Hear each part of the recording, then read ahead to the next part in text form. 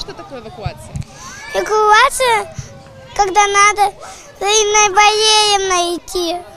Маленький Игнат точно знает, что в случае любой опасности надо быть рядом со своим воспитателем. Ведь именно та самая Инна Валерьевна после сигнала тревоги выводит своих подопечных за территорию сада и обязательно по итогу всех пересчитывает. Учебные тренировки в детском саду номер 41 проводятся два раза в год. Главная задача, как говорят педагоги, научить детей сохранять спокойствие и в течение трех минут покидать стены садика. Именно такой норматив диктуют сотрудники МЧС. В образовательном учреждении к таким испытаниям готовы всегда. Проигрываем на физкультурных э, занятиях, мероприятиях, как нужно э, проползать, то есть это все в игровой форме, детям очень интересно. Мы рисуем, мы рисуем пожарные машины, детям очень нравится, особенно э, мы рассматриваем, естественно, наглядности, наглядные пособия, картинки.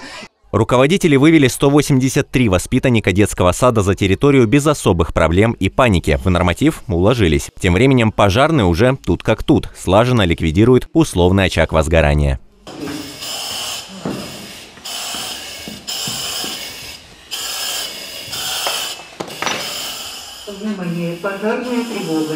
Но согласно плана раз, э, программы развития детского сада определенный пункт противопожарным антитеррористическим мероприятиям посвящается детям. Ведутся занятия, открытые занятия.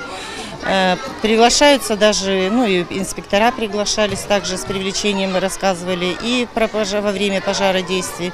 Кроме автоматической пожарной системы в саду номер 41 приняты и остальные меры безопасности. На стенах схемы эвакуации и огнетушители. Работает аварийный свет. Запасные выходы прямо в группах. А ручки дверей расположены так, что даже дети смогут до них дотянуться. Напомним, месяцем ранее специалисты мэрии проверили абсолютно все школы и детские сады. Крупных и серьезных нарушений не обнаружено. Но работы в этом направлении не останавливаются. В этом году новые АПС будут закуплены для 29 образовательных учреждений. Во многих Многие сады и школы также приобретут новые противопожарные двери. Максим Яковлев, новости на восьмом.